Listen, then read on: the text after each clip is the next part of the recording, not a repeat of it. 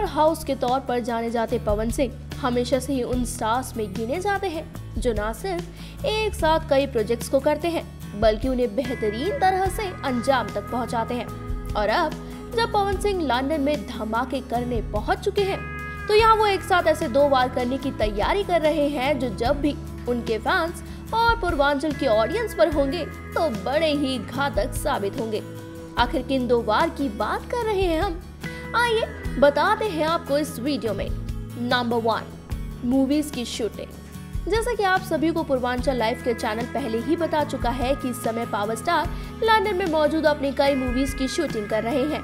Yeshi films Aamir Sinha के banner तले बन रही मूवीज़ में उनके साथ कई एक्ट्रेसेस भी स्क्रीन पर आग लगाएँगी।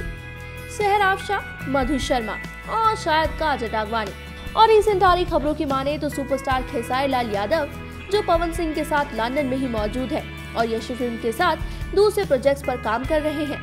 तो हो सकता है कि यशी फिल्म्स के ज़रिए ही सही। स्क्रीन पर एक बार फिर पवन सिंह और खेसारी का मिलन हो जाए और दोनों एक साथ किसी गाने या फ़िल्म में नज़र आए।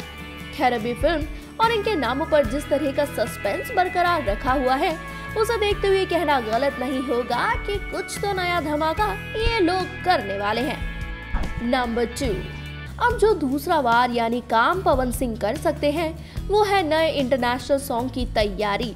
जी हाँ ऐसा इसलिए होना मुमकिन है क्योंकि पवन सिंह जब जब विदेश गए हैं, तब तब वो फ़िल्म के साथ साथ कई इंटरनेशनल लेवल के गानों का तोहफा भी अपने फैंस के लिए लेकर आए हैं। मिसाल के तौर पर, ये लड़की सही है और मधु शर्मा संग कोई बात नहीं ने भी एक इंटरनेशनल सॉन्ग है। यानी इन गानों की शूटिंग पवन सिंह ने विदेश में ही की। ऐसे में लंदन, जहाँ इस समय ज़बरदस्त मौसम लोगों को खुश कर रहा है। हो सकता है कि मौजूदा तीन हीरोइंस में से किसी एक के साथ लगे हाथ सुपरस्टार एक या दो नए इंटरनेशनल सॉन्ग ही कर डाले। हालाँकि फ़िल्म का आना तो तय समझिए, लेकिन इंटरनेशनल सॉन्ग्स का तोहफा आपके पावर स्टार आपको देंगे या नहीं, इसका जवाब इस समय तो नहीं, लेकिन हाँ आने वाले वक्त में ज़रूर मिल जाएगा। तब तक आप बने रहिए अपने फेवरेट चैनल पूर्वांचल लाइव के साथ।